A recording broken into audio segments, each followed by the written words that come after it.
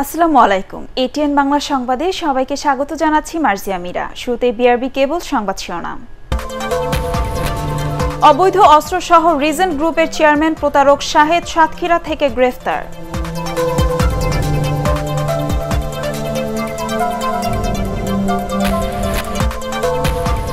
Regent হাসপাতালের সাথে চুক্তির বিষয়ে কিছুই জানতেন না দাবি স্বাস্থ্যমন্ত্রীর। মুখোমুখি অবস্থানে মন্ত্রণালয় ও অধিদপ্তর।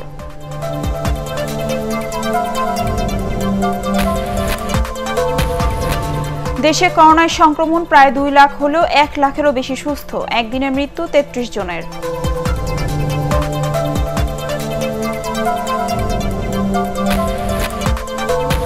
সরকারি কর্মকাণ্ডের ব্যয় কমানোর নির্দেশ প্রধানমন্ত্রীর। ক্ষুদ্র জনগোষ্ঠীর জমি দখল সহ্য করা হবে না। একনেক সভায় হুঁশিয়ারি।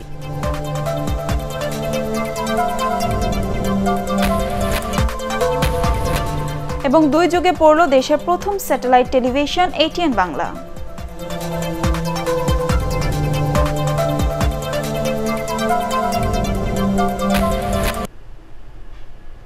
শুনছিলেন বিআরবি কেবল সংবাদ শিরোনাম। এবার বিস্তারিত। বহুল আলোচিত রিজেন্ট হাসপাতাল প্রতারণা মামলার প্রধান পলাতক আসামি ও রিজেন্ট গ্রুপের চেয়ারম্যান মোহাম্মদ শাহেদকে গ্রেফতার করেছে র্যাব। র্যাবের বিশেষ অভিযানে ভোরে সাতক্ষীরার সীমান্ত এলাকা থেকে অবৈধ অস্ত্রসহ তাকে গ্রেফতার করা হয়। সাতক্ষীরার দেবহাটা থানার সাকর বাজারের পাশে অবস্থিত লবঙ্গপতি এলাকায় অভিযান চালিয়ে তাকে গ্রেফতার করা হয়। এর আগে এই ঘটনায় আরও দশজনকে গ্রেফতার করা হয়েছে।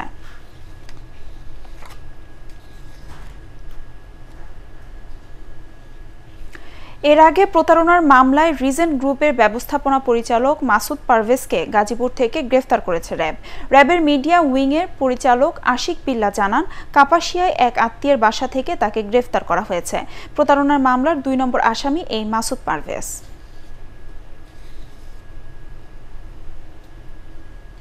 রিজেন্ট হাসপাতালের সাথে চুক্তির বিষয়ে কিছুই জানতেন না বলে দাবি করেছেন স্বাস্থ্যমন্ত্রী জাহিদ মালিক। দুপুরে সাংবাদিকদের প্রশ্নের উত্তরে তিনি বলেন, রিজেন্টের সাথে চুক্তির বিষয়ে স্বাস্থ্য অধিদপ্তরের বক্তব্য ঠিক নয়।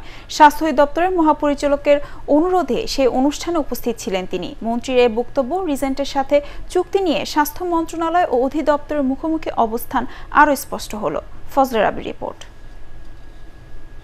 করোনা ভাইরাসের চিকিৎসা ও পরীক্ষা নিয়ে স্বাস্থ্য অধিদপ্তরের সঙ্গে রিজেন্ট হাসপাতালের সমঝোতা স্মারক সই হয় একুশ মার্চ।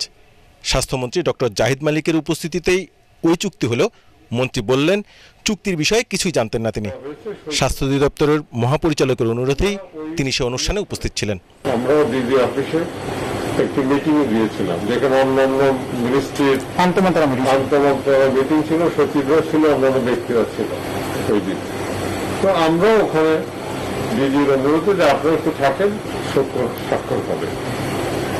কি স্বাক্ষর হবে? রিজেন্টের সাথে স্বাক্ষর লাঞ্চের পর আর কি লাঞ্চের পরে। তো আমরা সেইখানে ছিলাম। আমরাও খুশি ছিলাম যে একটা নতুন হাসপাতাল আসলো করোনা চিকিৎসা দিবে।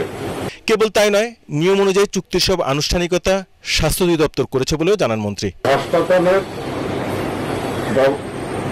নিয়োগ দেওয়ার বিষয় আমাদের কিছু প্রসেস আছে। সেই প্রসেসগুলো পালন করে ডিজি অফিস সেই প্রসেস পালন করে নিয়ে তাদেরকে নিয়োগ দেওয়া হয়েছে, সই করেছে।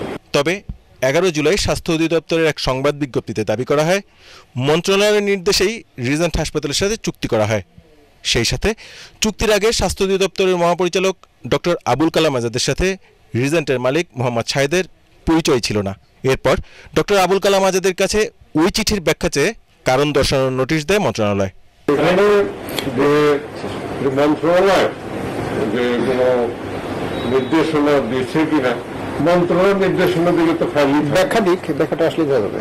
তো ব্যাখ্যা দিলেই তো পাবেন। এবং সেটা তো সচিব কি চেয়েছে কি জানি বলো? ব্যাখ্যা চেয়েছে। ব্যাখ্যা চেয়েছে। তো আমরা নিজের সত্যি সেই ব্যাখ্যাটা আমরা অপেক্ষা করি দেখি কি ব্যাখ্যা দেয়। করোনা ভাইরাসের চিকিৎসা নিয়ে রিজেন্টের দুর্নীতি ও ওই চুক্তির বিষয়ে তদন্ত করছে দুর্নীতি দমন কমিশনের তিন সদস্যের দল। ফজলে রাব্বি, এটিএন বাংলা, ঢাকা। এদিকে প্রাণঘাতী করোনা ভাইরাসের নমুনা সংগ্রহ না করে রিপোর্ট দেওয়ার অভিযোগে জেকেজি হেলথ কেয়ারের চেয়ারম্যান ডক্টর সাবরিনা আরিফ চৌধুরীর বিরুদ্ধে দায়ের করা মামলার তদন্ত করবে গোয়েন্দা পুলিশ ডিবি। মামলাটি তদন্ত করছিল থানা পুলিশ। গুরুত্ব বিবেচনায় তদন্তের দায়িত্ব দেওয়া হয়েছে ডিবিকে। এর আগে সোমবার ডক্টর সাবরিনা আরিফ চৌধুরীর তিন দিনের রিমান্ড মঞ্জুর করে আদালত।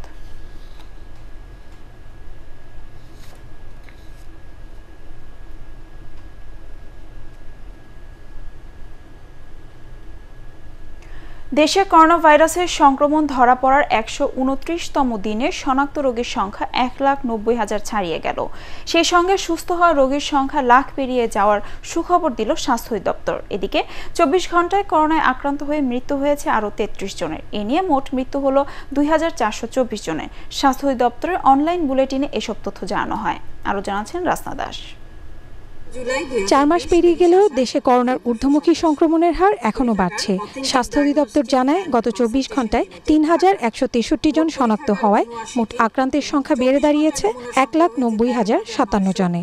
কিন্তু আসার খবর, একই সময় চার হাজার নয়শো দশ জন সুস্থ হন। করোনা ভাইরাস থেকে সুস্থ হয়ে ওঠা রোগীর সংখ্যা এক লাখ ছাড়িয়েছে। মোট সুস্থ হওয়া রোগীর সংখ্যা এখন এক লাখ তিন হাজার দুইশো সাতাশ জন। শনাক্ত হয়েছে তিন হাজার একশো তেষট্টি জন। এ পর্যন্ত শনাক্ত এক লক্ষ নব্বই হাজার সাতান্ন জন। চব্বিশ ঘণ্টা শনাক্তের হার তেইশ দশমিক পাঁচ এক শতাংশ এবং এ পর্যন্ত শনাক্তের হার উনিশ দশমিক ছয় সাত শতাংশ। চব্বিশ ঘণ্টা সুস্থ হয়েছেন চার হাজার নয়শো দশ জন এবং এ পর্যন্ত সুস্থ এক লক্ষ তিন হাজার দুইশো সাতাশ জন। শনাক্ত সুস্থতার হার চুয়ান্ন দশমিক তিন এক শতাংশ। চব্বিশ ঘন্টায় করোনায় মৃত্যু হয়েছে তেত্রিশ জনের। মোট মৃতের সংখ্যা দাঁড়িয়েছে দুই হাজার চারশো চব্বিশ জনে মৃতদের মধ্যে তেইশ জন পুরুষ এবং দশ জন নারী। মৃত্যুর হার এক দশমিক দুই আট শতাংশ। চব্বিশ ঘণ্টা মৃত্যুবরণ করেছেন তেত্রিশ জন। এ পর্যন্ত দুই হাজার চারশো চব্বিশ জন মৃত্যুবরণ করেছেন। শনাক্ত বিবেচনায় মৃত্যুর হার এক দশমিক দুই আট শতাংশ। যারা মৃত্যুবরণ করেছেন, তাদের মধ্যে তেইশ জন পুরুষ, দশ জন নারী। এ পর্যন্ত মৃত্যুবরণ করেছেন এক হাজার নয়শো তেরো জন পুরুষ, আটাত্তর দশমিক নয় দুই শতাংশ। এবং নারী পাঁচশো এগারো জন একুশ দশমিক শূন্য আট শতাংশ। সবশেষ একদিনে পরীক্ষা করা হয়েছে তেরো হাজার চারশো তিপ্পান্ন জনের নমুনা। নমুনা পরীক্ষার হিসেবে শনাক্তের হার তেইশ দশমিক পাঁচ এক শতাংশ। এখন পর্যন্ত শনাক্ত রোগীর বিবেচনায় সুস্থতার হার চুয়ান্ন দশমিক তিন এক শতাংশ। রাস্তা দাস, এটিএন বাংলা, ঢাকা। করোনা টেস্টের নামে আগামীতে কোনো প্রতিষ্ঠান যেন কারচুপি করতে না পারে, সেজন্য নজরদারি বাড়ানোর আহ্বান জানিয়েছেন আওয়ামী লীগ সাধারণ সম্পাদক ওবায়দুল কাদের। রাজধানীতে তার সরকারি বাসভবনে গণমাধ্যমকে তিনি বলেন, করোনায় ভুয়া সনদ দেয়ায় বিদেশে দেশের ভাবমূর্তি নষ্ট হওয়ার আশঙ্কা তৈরি হয়েছে। ফি নির্ধারণ করায় করোনা পরীক্ষার হার কমে যাওয়ার উদ্বেগ জানিয়ে অসহায় মানুষদের সামর্থ্য বিবেচনায় নিতে স্বাস্থ্য বিভাগের দৃষ্টি আকর্ষণ করেন তিনি। এ সময় বন্যা দুর্গত এলাকার মানুষের সহায়তায় আওয়ামী লীগ নেতাকর্মীদের এগিয়ে আসার আহ্বান জানান ওবায়দুল কাদের। একদিকে আমাদের উদ্বেগ বাড়িয়েছে, অন্যদিকে বিদেশে দেশের ইমেজ নষ্ট হওয়ার আশঙ্কা তৈরি করেছে। মানুষের অসহায়তা নিয়ে এ ধরনের অপকর্ম নিন্দনীয় ও শাস্তিযোগ্য অপরাধ আর কোনো প্রতিষ্ঠান যেন এ ধরনের অপরাধ করতে না পারে সেই জন্য আমি সংশ্লিষ্টদের নজরদারি বাড়ানোর আহ্বান জানাচ্ছি। সরকারি সকল কর্মকাণ্ড পরিচালনা ব্যয় কমানোর নির্দেশ দিয়েছেন প্রধানমন্ত্রী শেখ হাসিনা। গণভবনে একনেক সভা শেষে প্রধানমন্ত্রী এই নির্দেশনার কথা জানান পরিকল্পনা মন্ত্রী এম এ মান্নান। সবাই ক্ষুদ্র নৃতাত্ত্বিকদের জমি অবৈধভাবে দখল করলে তা সহ্য করা হবে না বলেও হুঁশিয়ারি দেন প্রধানমন্ত্রী। এদিকে দশ হাজার একশো দুই কোটি টাকার আটটি উন্নয়ন প্রকল্পের অনুমোদন দিয়েছে একনেক। আপেল মাহমুদের রিপোর্ট। গণভবন থেকে ভিডিও কনফারেন্সে জাতীয় অর্থনৈতিক পরিষদের নির্বাহী কমিটি একনেকের সভায় যোগ দেন প্রধানমন্ত্রী শেখ হাসিনা। সভায় ঢাকা উত্তর সিটি কর্পোরেশনের অবকাঠামো উন্নয়ন, ভূমি ব্যবস্থাপনা অটোমেশন সহ আটটি প্রকল্প অনুমোদন দেওয়া হয়। প্রায় দশ হাজার একশো কোটি টাকার এসব প্রকল্পের কাজ নির্ধারিত সময়ের মধ্যে শেষ করার তাগিদ দেন প্রধানমন্ত্রী। সভায় ভূমি ও আইন মন্ত্রণালয়কে সমন্বয় করে কাজ করার পাশাপাশি সমতল ও পাহাড়ের ক্ষুদ্র নৃতাত্ত্বিকদের ভূমি অধিকার রক্ষার বিষয়ে প্রধানমন্ত্রীর সতর্কতার কথা জানান পরিকল্পনা মন্ত্রী। আমাদের অনেক সমতলে পাহাড়ে অনেক আমাদের অন্যান্য জাতিগোষ্ঠীর ভাই বোনেরা আছে, মালিকরা আছে। এদের জমি নিয়ে আমরা অনেকে বাড়াবাড়ি করে মাঝে মাঝে। তিনি বলেছেন, ভূমি মন্ত্রণালয়কে, ভূমি মন্ত্রীকে যে এইগুলা সহ্য করা হবে না। আপনারা প্রকৃতভাবে এদের যে জমিগুলো আছে এইগুলো যেন প্রপারলি রেকর্ড করা হয় এবং সংরক্ষণ করা হয় এবং তাদের মালিকানা যেন পরিষ্কার থাকে। করোনার কারণে ব্যয় বেড়ে যাওয়ায় সরকারি সকল কর্মকাণ্ড পরিচালনায় আরও সতর্ক হওয়ার পরামর্শ দেন প্রধানমন্ত্রী। আমাদেরকে সাশ্রয়ী হতে হবে ব্যয় কমাতে হবে। গাড়ি ঘোড়া আবাসন বিদেশ ভ্রমণ ক্রয় সকল ব্যাপারে আমাদেরকে ব্যয় সাশ্রয় করতে হবে। আপ্যায়ন এই সকল ব্যাপারে তিনি আজকে পরিষ্কার মন্তব্য করেছেন। স্থানীয় সরকারের অধীনে ঢাকার দুই সিটি কর্পোরেশনকে উন্নয়ন প্রকল্প বাস্তবায়নে সরকারি অর্থায়নের উপর নির্ভর না করে স্বাবলম্বী হওয়ার নির্দেশও দেন প্রধানমন্ত্রী। আপেল মাহমুদ, এটিএন বাংলা, ঢাকা। টানা বৃষ্টি আর উজান থেকে নেমে আসা পাহাড়ি ঢলে দেশের অন্তত সতেরো জেলায় বন্যা দেখা দিয়েছে। বসতবাড়ি ও রাস্তাঘাট তলিয়ে যাওয়ার পাশাপাশি নদী ভাঙনের কারণে দুর্ভোগে পড়েছেন কয়েক লাখ মানুষ। সড়ক, বাঁধ আর আশ্রয় কেন্দ্রে অবস্থান নেওয়া মানুষের মাঝে দেখা দিয়েছে খাবার ও বিশুদ্ধ পানির অভাব। প্রতিনিধিদের তথ্যচিত্রের ভিত্তিতে রিপোর্ট করছেন মইনুল হাসান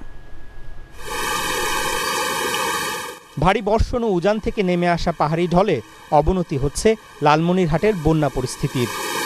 তিস্তার পানি কমলেও ধরলার পানি বেড়েছে। ধরলার পানি বাড়ায় লালমনিরহাট সদর উপজেলার মোগলহাট ও কুলাঘাট ইউনিয়নের নতুন নতুন এলাকা প্লাবিত হয়েছে।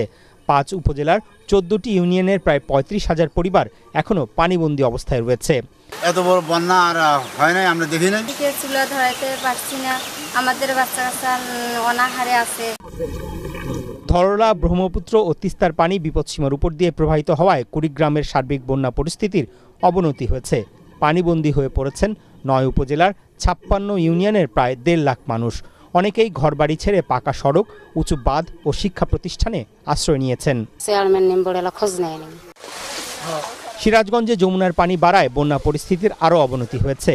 চৌহালি, শাহজাদপুর, বেলকুচি, কাজীপুর ও সদর উপজেলার পঁয়ত্রিশটি ইউনিয়নের চরাঞ্চল ও নিচু এলাকার ঘরবাড়ি সহ সবকিছু তলিয়ে যাওয়ায় দুর্ভোগে পড়েছে সাধারণ মানুষ। বন্যায় বিপাকে পড়েছে রংপুরের গঙ্গাচড়া, কাউনিয়া ও পীরগাছা উপজেলার বারো ইউনিয়নের প্রায় পঞ্চাশ হাজার পরিবার। ভারী বৃষ্টিপাত ও উজান থেকে নেমে আসা পাহাড়ি ঢলে শেরপুরের পুরনো ব্রহ্মপুত্র নদীর পানি আবারও বাড়তে শুরু করেছে। নালিতাবাড়ি উপজেলার চার ইউনিয়নের বিশটি গ্রাম ও ঝিনাইগাতি উপজেলার পনেরোটি গ্রামে পানি ঢুকে পড়েছে। সিলেটে বন্যা পরিস্থিতির অবনতি হয়েছে। জেলার পাঁচ উপজেলার শতাধিক গ্রাম এরই মধ্যে বন্যার পানিতে তলিয়ে গেছে। পানিবন্দী, লাখো মানুষ। নীলফামারীতে তিস্তার পানি কমায় বন্যা পরিস্থিতির উন্নতি হয়েছে। সোমবার সকালে রেড অ্যালার্ট প্রত্যাহার করে নেওয়া হয়েছে। ভারী বর্ষণ ও উজানের পাহাড়ি ঢলে যমুনা ও পুরাতন ব্রহ্মপুত্র সহ অন্যান্য নদ নদীর পানি বৃদ্ধি অব্যাহত থাকায় জামালপুরের বন্যা পরিস্থিতির অবনতি হয়েছে। জেলার পঞ্চাশ হাজার পরিবারের দুই লাখ মানুষ পানিবন্দী। ঘরে আমার এক কুমোর পানি আমরা বাড়িতে থাকতে পারতেছি না আমরা এক রাস্তায় উঠছি। আন্দা বাড়ি করতে পারিনি ঘরে চাইলেও নেই। সুনামগঞ্জে উজানে বৃষ্টিপাত কম হয় সুরমা নদীর পানি কমেছে তবে হাওরের জনবসতিতে বেড়েছে বন্যার পানি। এ কারণে দুর্ভোগ বেড়েছে এসব এলাকার মানুষের। গাইবান্ধায় ব্রহ্মপুত্র, ঘাগর, তিস্তা ও করতুয়া সহ সবকটি নদ নদীর পানি বৃদ্ধি অব্যাহত আছে। জেলার চার উপজেলার পঞ্চাশটি গ্রাম প্লাবিত হয়ে পানিবন্দী পঞ্চাশ হাজার মানুষ। মইনুল আহসান এটিএন বাংলা। যত বড় দুর্যোগই আসুক না কেন এবং তা যত দীর্ঘস্থায়ী হোক, ত্রাণ সহায়তা চালিয়ে যাওয়ার সক্ষমতা সরকারের রয়েছে বলে মন্তব্য করেছেন ত্রাণ ও দুর্যোগ প্রতিমন্ত্রী ডাক্তার এনামুর রহমান।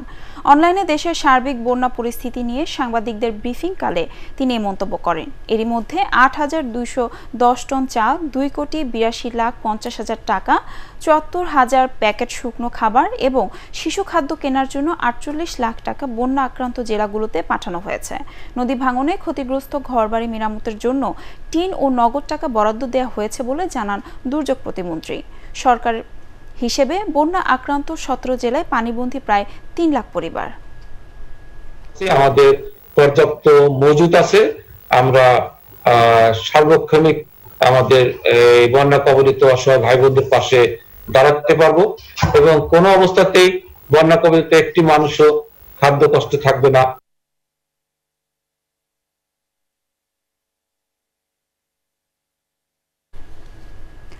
দর্শকদের নিরন্তর ভালোবাসায় দুই যুগে এসে পৌঁছালো এটিএন বাংলা। নানা চড়াই উতরাই আর ইতিহাসের সাক্ষী হয়ে দেশের প্রথম এই স্যাটেলাইট টেলিভিশন তেইশ বছর পেরিয়ে চব্বিশে পা রাখল। প্রতিবার জন্মদিন ঘটা করে পালন করা হলেও এবার করোনা মহামারীর কারণে কোনো আয়োজন থাকছে না চ্যানেলটিতে।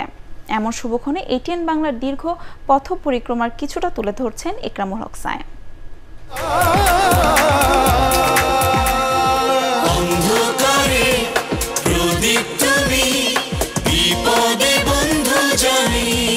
পনেরো জুলাই উনিশশো সাতানব্বই দেশের সম্প্রচার মাধ্যমের ইতিহাসে এক অনন্য দিন।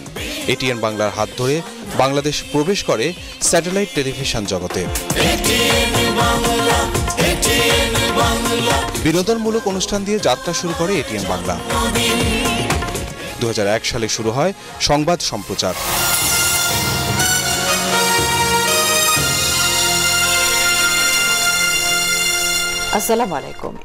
দেশের ইতিহাসে প্রথম প্রতি ঘন্টায় ইরাক যুদ্ধের সচিত্র সংবাদ পরিবেশন করে তাক লাগিয়ে দেয় এটিএন বাংলা। ফাঁকা গুলি টিয়ারসেল প্রতিবাদ প্রতিরোধ আন্দোলন সংগ্রাম আর দুর্যোগ দুর্বিপাকের বস্তুনিষ্ঠ সংবাদ তুলে ধরে সাধারণ মানুষের আস্থার জায়গা দখল করে নেয় এই সম্প্রচার মাধ্যম। জ এই মামুন এটিএন বাংলা। সংবাদের ক্ষুদা মেটাতে কেবল দেশের আনাচে কানাচেই নয় বিশ্বব্যাপী ছড়িয়ে পড়ে এটিএন বাংলার সংবাদকর্মী ও কলাকুশলীরা। এই সুদূর পথ পেরোতে আমাদের অনেক ঘাত প্রতিঘাত পেরিয়ে আজ আমরা এখানে। এটিএন বাংলা শুরুতে যেরকম জনপ্রিয়তা ছিল আমরা সেই জনপ্রিয়তা এখন পর্যন্ত ধরে রাখতে পারছি। তার কারণ হচ্ছে যে আমরা সব সময় শুরুর থেকে যে চেষ্টাটা আমরা করে গেছি সেটা হলো নিরপেক্ষ সংবাদ পরিবেশন করা। এবং আমরা নিরপেক্ষ সংবাদ সবসময় পরিবেশন করে আসি। আমরা সব দল বল নির্বিশেষে সকলকেই আমরা প্রাধান্য দিয়ে থাকি। অনেকক্ষণ খুঁজছি আমি। বিনোদনের দেশীয় সংস্কৃতির উপর ভিত্তি করে বাড়তে থাকে অনুষ্ঠান নির্মাণ। দর্শকের সামনে হাজির করে প্রতিভাবান নানা মুখ। স্বপ্নে এখানে রঙে গেছি মনে আকাশে সম্প্রচার মাধ্যমের পথিকৃত এটিএন বাংলা সবসময় সিক্ত হয়েছে কোটি দর্শকের ভালোবাসায়। বন্ধুর মতো পাশে পেয়েছে শুভানোধ্যায়ীদের দর্শক নন্দিত অসংখ্য নাটক আর মেগা সিরিয়াল সম্প্রচার করেছে চ্যানেলটি। প্রচার করছে স্বাস্থ্য কিংবা রান্না বিষয়ক বিভিন্ন অনুষ্ঠান। বিতর্কের মতো শিক্ষামূলক অনুষ্ঠানেরও প্রাণবন্ত উপস্থাপনের পৃষ্ঠপোষকতা করে চলেছে এটিএন বাংলা। দুর্যোগে দুর্দিনে অথবা দেশ গঠনে তৎপর সেনা সদস্যদের বিনোদনে সেনানিবাসগুলোতে ছুটে গেছেন এই টেলিভিশনের কলাকুশলীরা। কেবল তাই নয় জাতিসংঘের শান্তিরক্ষা কার্যক্রম দেখতে আইভরি কোস্টে শুভেচ্ছা সফরে যান প্রতিষ্ঠানটির চেয়ারম্যান ডক্টর মাহফুজুর রহমান। দেশে বিদেশে অনুষ্ঠিত খেলাধুলার জনপ্রিয় সব আসরের খবর গুরুত্বের সাথে দর্শকদের কাছে তুলে ধরেছে ATN Bangla. School hockey tournament প্রচার ও পৃষ্ঠপোষকতার মধ্য দিয়ে দেশের মানুষের মনে হকি বিশ্বকাপ খেলার স্বপ্নও বুনে দিয়েছে চ্যানেলটি। প্রাত্যহিক জীবনে ইসলামের প্রয়োগে সহায়ক নানা অনুষ্ঠান প্রচার করে আসছে এটিএন বাংলা। অন্যান্য ধর্মাবলম্বীদের প্রতিও মনোযোগী প্রতিষ্ঠানটি। এই পথচলা এটিএন বাংলা শিশুদের ভাষায় শিশুদের কথা বলার চেষ্টা করছে। দু হাজার চার সাল ছিল এটিএন বাংলার একটি উল্লেখযোগ্য বছর। এবছর শিশুদের জন্য শিশুদের তৈরি অনুষ্ঠান আমরাও পারি ছোট পর্দায় অস্কার খ্যাত অ্যামি অ্যাওয়ার্ড জিতে নেয়। দু হাজার বারো সালে ডক্টর মাহফুজ রহমানকে এশিয়ান ব্রডকাস্টার অব দ্য ইয়ারে ভূষিত করে ব্রিটেনের পত্রিকা এশিয়ান ভয়েস। বেশ কয়েকবারই অর্জিত হয় এই সাফল্য। এশিয়ান আঞ্চলিক award, Meena media award, UNICEF award সহ নানা অর্জন আছে চ্যানেলটির। এশিয়াতে দুটো দেশ, আমরা চায়না ছাড়া এখন পর্যন্ত এই এমিওয়ার্ডকে আনতে পারিনি। তাছাড়া আমাদের এই তেইশ বছরের সবচেয়ে বড় প্রাপ্তি হচ্ছে যে আমরা ইউনিসেফ থেকে একটি পুরস্কার পাই, যে life time achievement award UNICEF দেয়, যে অ্যাওয়ার্ডটি পৃথিবীর কোনো চ্যানেল পায়নি, একমাত্র আমরাই এখন পর্যন্ত এটা পেয়ে আসছি। এশিয়ার মধ্যে প্রথম চ্যানেল যে চ্যানেল বাংলা ভাষা সারা বিশ্বে আমরা ছড়িয়ে দিছি। করোনা মহামারীর মধ্যে কর্মস্থলে নিরাপদ পরিবেশ তৈরির পাশাপাশি সংবাদ সংগ্রহ ও অনুষ্ঠান নির্মাণে প্রযুক্তির সর্বোচ্চ ব্যবহারকে গুরুত্ব দেওয়া হচ্ছে। প্রচার করা হচ্ছে করোনা ভাইরাস নিয়ে সচেতনতা বিষয়ক বিভিন্ন অনুষ্ঠান। যখন করোনার প্রাদুর্ভাব ঘটে তখন থেকেই আমরা শুরু আমরা চেষ্টা চালিয়ে যাচ্ছি যে করোনা সম্পর্কে সচেতনতা বৃদ্ধি করার জন্য। আমরা সবসময় কিছু না কিছু দেখাচ্ছি এবং বিশেষ করে আমাদের মেডিকেল প্রোগ্রামগুলি যেগুলি হয় সেই সবে আমরা সবসময় আমাদের ডাক্তারকে ডাক্তারদেরকে নিয়ে এসে এই সম্পর্কে উপদেশ দেওয়ার আমরা চেষ্টা করে যাচ্ছি।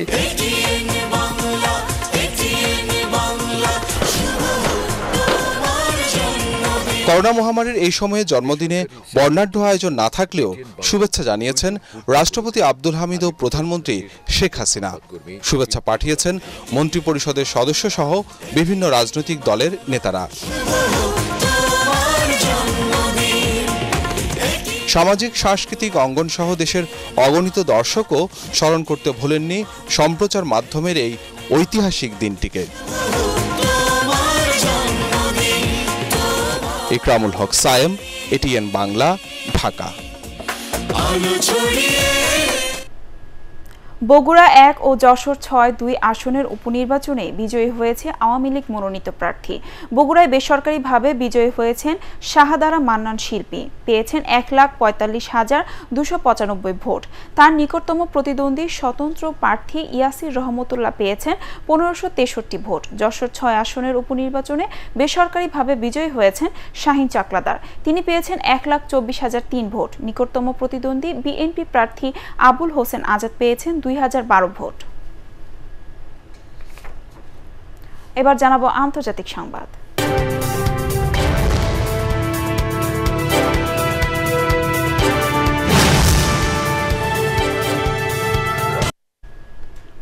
মৌলিক স্বাস্থ্যবিধি মেনে না চললে বিশ্বজুড়ে করোনা পরিস্থিতি আরও ভয়াবহ আকার নেবে বলে সতর্ক করে দিয়েছে বিশ্ব স্বাস্থ্য সংস্থা ডব্লিউএইচও। জেনেভায় সংস্থাটির মহাপরিচালক ট্রেস আধানম গেব্রিউসুস বলেন, করোনা ভাইরাস এখন এক নম্বর গণশত্রু। যেভাবেই হোক, একে মোকাবেলা করার আহ্বান জানান তিনি। সংক্রমণ ব্যাপক হারে বাড়তে থাকায় লকডাউনে কড়াকড়ি আরোপ করতে যাচ্ছে হংকং। আক্রান্তের হার কমাতে চব্বিশ জুলাই থেকে মাস্ক ব্যবহার বাধ্যতামূলক করতে যাচ্ছে ব্রিটেন। জনস হপকিন্স ইউনিভার্সিটির হিসেবে বিশ্বে এখন আক্রান্তের সংখ্যা এক কোটি একত্রিশ লাখেরও বেশি। সবশেষ পাঁচ দিনের আক্রান্ত হয়েছে দশ লাখেরও বেশি মানুষ। এখন পর্যন্ত মারা গেছে প্রায় পাঁচ লাখ চুয়াত্তর হাজার। এবার জানাব পার্টিক্স খেলার খবর।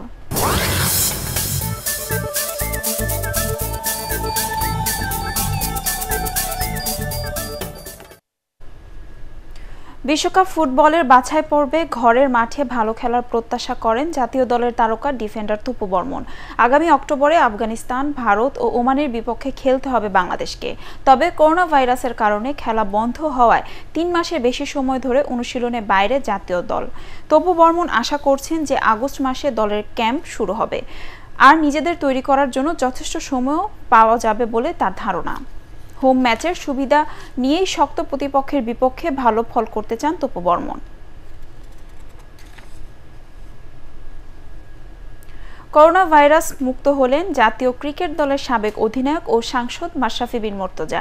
রাতে অফিসিয়াল ফেসবুক পেজে তিনি নিজে এ ঘোষণা দেন। মাশরাফি লেখেন, পুরো সময়টাতে যারা পাশে ছিলেন, দোয়া করেছেন, উদ্বিগ্ন ছিলেন ও নানাভাবে খোঁজ নিয়েছেন বা নেয়ার চেষ্টা করেছেন, সবার প্রতি কৃতজ্ঞতা। তবে তার স্ত্রী করোনা ভাইরাস পরীক্ষার ফল এখনও পজিটিভ। সবাইকে সাবধানে থাকার পরামর্শ দেন মাশরাফি। শেষ করার আগে বিআরবি কেবল সংবাদ শিরোনাম আরেকবার। অবৈধ অস্ত্র সহ রিজেন্ট গ্রুপের চেয়ারম্যান প্রতারক শাহেদ সাতক্ষীরা থেকে গ্রেফতার।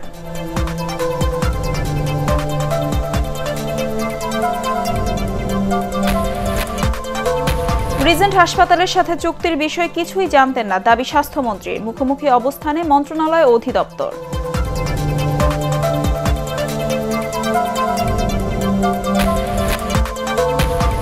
দেশে করোনায় সংক্রমণ প্রায় দুই লাখ হলেও এক লাখেরও বেশি সুস্থ। একদিনের মৃত্যু তেত্রিশ জনের।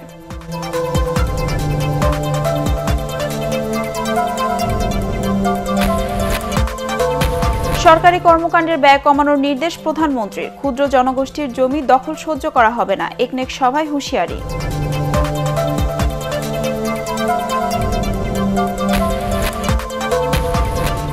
এবং দুই যুগে পড়ল দেশের প্রথম স্যাটেলাইট টেলিভিশন, এটিএন বাংলা।